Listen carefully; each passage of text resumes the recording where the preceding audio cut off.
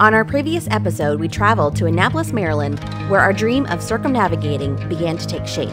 Join us and our friends on day two of the boat show as we continue to explore sailboats, attend lectures, and even take a trolley tour of Annapolis. What new discoveries are in store? Will you find an avenue to set sail sooner? Thanks for coming along.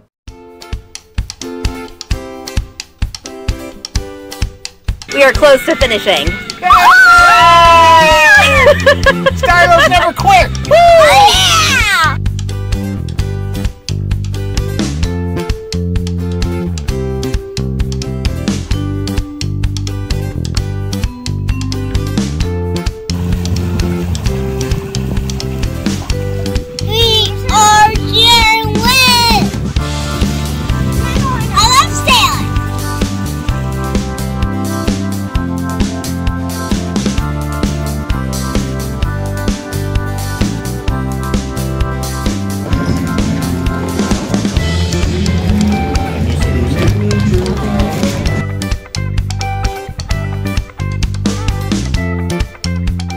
So here we are on our way to day two of the Annapolis Spring Boat Show, Sailboat Show, and uh, felt like we should give you a little bit of background of exactly why we're here.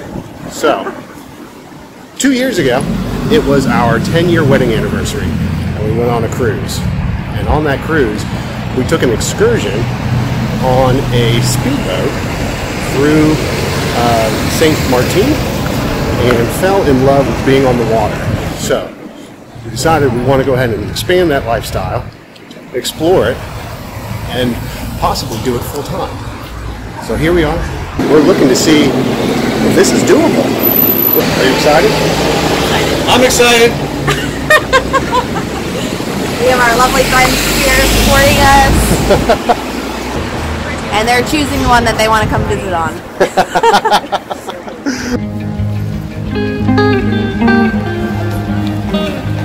Why are you impressed by the napkins? Good question, Erik.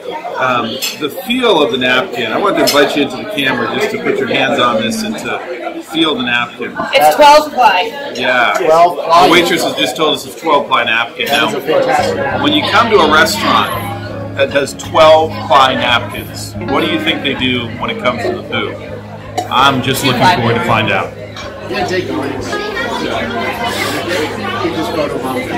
my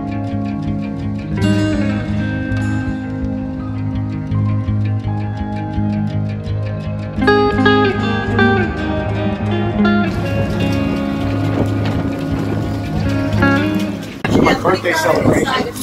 So my wife planned this whole trip and uh, surprised me with it. Yeah, that's who's going to surprise you with the new boat. Record that. so, how's it? How do you feel being on a catamaran for the first time? It feels exhilarating. I mean, you already feel the wind in your hair, the, the sunshine on your face, and there's something about that just constant connection with nature. So we're on the Lucia 40, Fountaine Pajot, and I will say that it has a very efficient use of space. And this is a 40, so you're giving up a lot of space, so your salon is a lot shorter. You don't have a lot of the um, forward use of space. However, it feels like a, a good sized boat. If we're going to be on this boat with teenagers, we're probably going to want to throw them overboard anyways. I don't know if seven feet is going to make a big difference. I don't care about any charter, I don't care about anything, I just want tax benefits. And I say, no, you don't. The tax benefits are the beautiful cherry on top. Guys, how many of you go into an ice cream parlor and say, give me a bowl of cherries? We stopped to listen to a few lectures along the way. This one on boat as a business was interesting. It was fun, nonetheless, to debate scenarios to see if there was a way to set sail earlier than planned. However, we came to the conclusion that at this point, a bowl of cherries was not likely in our near future. So this is the boat that we started looking at almost two years ago, and the reason being that this was our first choice once we got the, the hook set for trying to buy a yacht uh, and do this lifestyle was that Lagoon really was the first one to turn over their style and design at that time. So uh, two years ago, uh, they, most of the other manufacturers were still doing their older design, But uh, since that, two years, three years ago, Captain Pajot has come out with new lines, new, new design.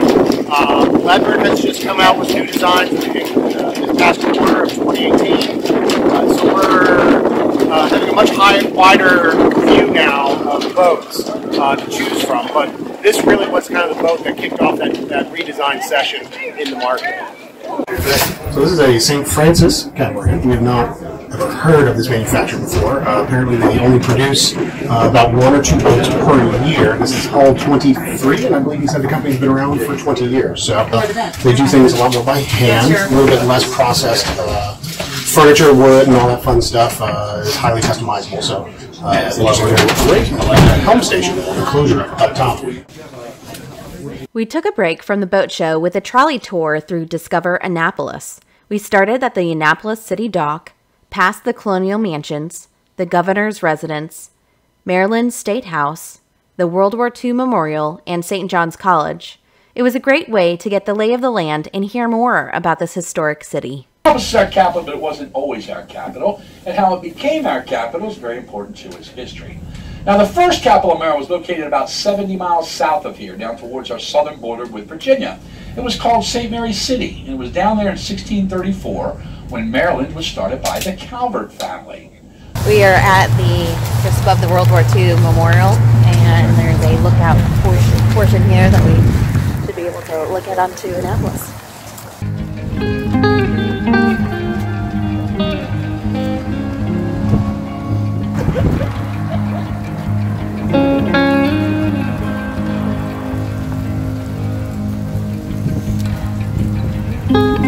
We finished up the tour and headed to Carrol's Creek Cafe for dinner.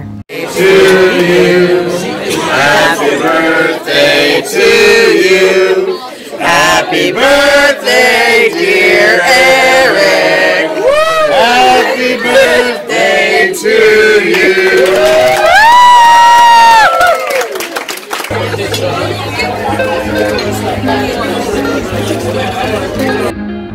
Us next episode for our final day at the Annapolis Sailboat Show, where we sail the Chesapeake Bay and explore the U.S. Naval Academy.